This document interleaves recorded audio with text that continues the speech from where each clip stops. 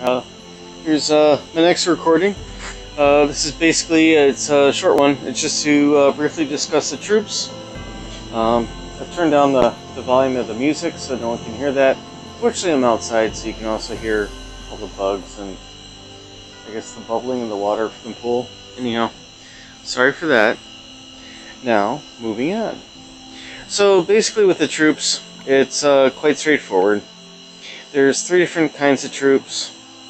Um, I hope I have all three here to show you. Oh crap, I ate them all. But basically, there's there's three different types, right? So you're going to have your attacking ones. Uh, they're going to have the most attack, and then they're going to have this uh, mana bonus, right?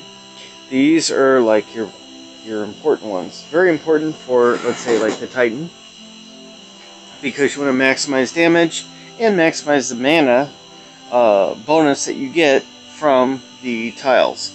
And so you want those guys on them. Now, there's a uh, attack guy, an average guy, and then a defense guy on every single one of the levels. So you'll see it on one star, two stars, three stars, four stars, right? Um, what you want to do, you want to get to the point.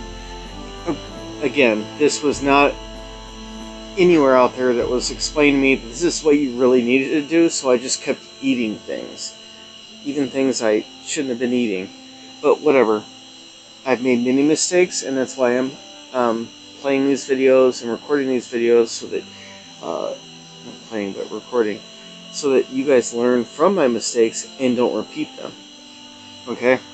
So, one of my mistakes was, is I would just eat all my troops all the time and just level up that one guy that I would use my defense team. Then all of a sudden war came along. And all of a sudden, holy crap, I need to have a significant amount of these troops in order to do the war. Because, yes, you